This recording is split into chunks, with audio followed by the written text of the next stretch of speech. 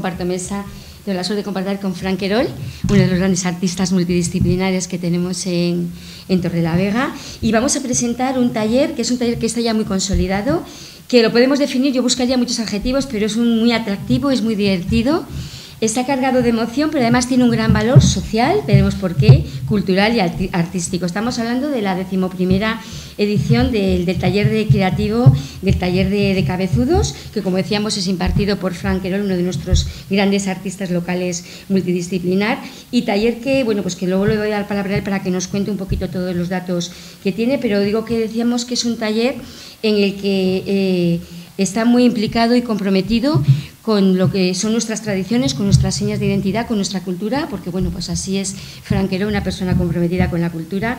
Y decíamos que está dirigido a niños de 7 a 12 años, pero que realmente es un taller, es un taller familiar, es un taller colaborativo, es un taller cooperativo, podríamos decir, porque bueno, es un, tiene ahí un encuentro intergeneracional, el taller lo desarrollan bajo las indicaciones de Fran los niños con los abuelos o los niños con los padres, con lo cual cumplimos un objetivo importante dentro de la hoja de ruta que tenemos tenemos también desde la Concejalía de Cultura es que las actividades culturales sean una alternativa de ocio, de ocio familiar y en esta ocasión yo creo que cumple perfectamente con dos eh, objetivos importantes de la hoja de ruta. Uno, trabajar es la cultura como ocio alternativo y dos, el preservar y difundir nuestras tradiciones, nuestras señas de identidad y claro, como los cabezudos forman parte de una de las, bueno, pues de una de nuestras de nuestras señas. Como decía, Bajo la dirección de Frank Querol van a desarrollar, ahora veremos cómo, dónde y cuándo, que nos lo va a contar Frank, este, este taller de cabezudos. Y siempre de decir que, que bueno, pues que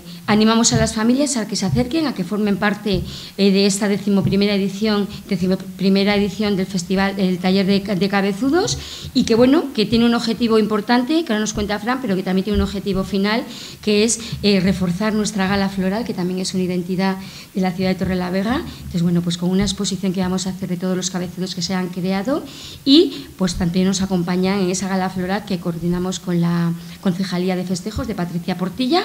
Y bueno, te voy a dar la palabra para que nos digas todas aquellas personas, niños, abuelos, familias que estén interesados en participar en esta décima primera edición, qué es lo que tienen que hacer y cuándo van a desarrollarse este taller. Fran, gracias un año más por estar ahí, por la ilusión que pones, por el interés que pones, por el apoyo que tienes a la cultura de Torlavega y a la cultura con mayúsculas y en general, y un placer pues poder apoyar y empujar contigo este décimo primer ¿Qué es lo que hay que hacer para, apuntarse al cabezudo? Eh, vamos a empezar diciendo que el taller de cabezudos se ejecuta en dos días diferentes y hay dos grupos diferentes. Eh, motivos, el, el, espacio.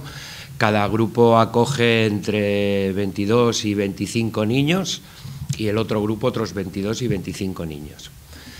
Normalmente a lo largo de los años siempre hay entre 15 y 20 que se quedan sin, participar porque el local tiene las dimensiones que tiene, yo doy lo que doy de sí y entonces más de 25 niños a la vez con, su respectivo acompañante, pues, pues es como un poco imposible. Por eso es por lo que se ha decidido, que ya se lleva años haciéndolo, dividirlo en dos grupos. ¿vale?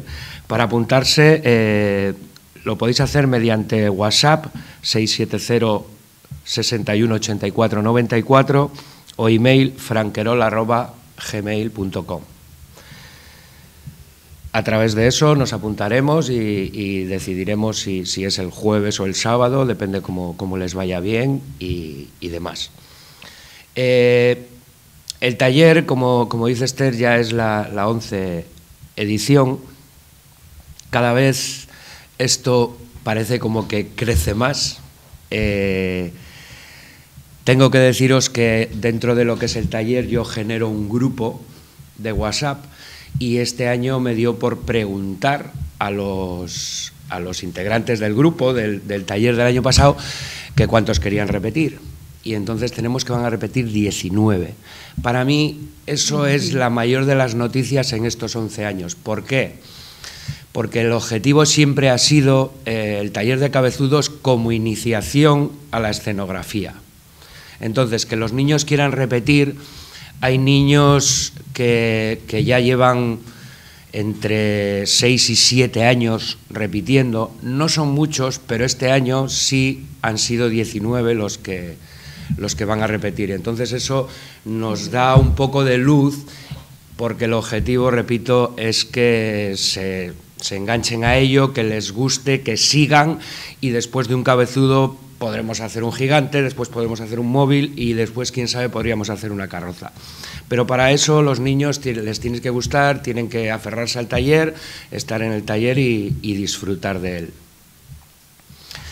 Eh, los horarios, os voy a decir, que lo estoy viendo aquí. Eh, los jueves es de 5 a 7 y media y los sábados de 10 y media a 1. Esto es en el local municipal. Arcadio González Cantero, sito en Nueva Ciudad, justo enfrente del, Colegio José Luis Hidalgo. Después de acabar el taller, que como ha dicho Esther es un taller colaborativo en el que te puedes ver al niño con el abuelo, la abuela, el padre, la madre, la tía, el hermano o la hermana mayor, es colaborativo, acabamos, cada niño acaba su trabajo y hacemos una exposición que normalmente, y supongo que este año siga siendo igual, en la Plaza de Abastos, en torno al... Esto mirando antes el calendario, yo creo que nos podría encajar el 24 de julio, inaugurar la, exposición de los, de los trabajos. Y después, acto seguido, ya empezamos a participar con los cabezudos en las fiestas de la patrona. El día inaugural acompañamos a doña Leonor en, en su desfile y en la gala floral también participamos. Aparte de esto, también tenemos otras actividades como son, por ejemplo, eh, solemos hacer después también al final una salida en la cual eh, grabamos unas imágenes, hacemos un vídeo de, recuerdo para que, para que quede ahí plasmado y los niños lo, tengan de recuerdo. a lo largo de los 11 años ha habido un año que sí se hizo una, carroza. Se había conseguido una sinergia de grupo eh, en la cual habían repetido varios años, en torno a cinco o seis, y entonces eh, tenían como ganas, yo también, y hicimos una, una pequeña carroza. ¿vale? Al siguiente año también me lo habían propuesto, seguir haciendo otra pequeña carroza, pero nos cogió la pandemia de por medio. Y entonces eso ya se vino abajo, esos niños que repetían ya no vuelven al taller, y entonces pues ahora como que volvemos otra vez a, a empezar un poco, a ver si hay suerte y para el año que viene lo podemos conseguir. Eso no vamos a cejar en el empeño, seguro.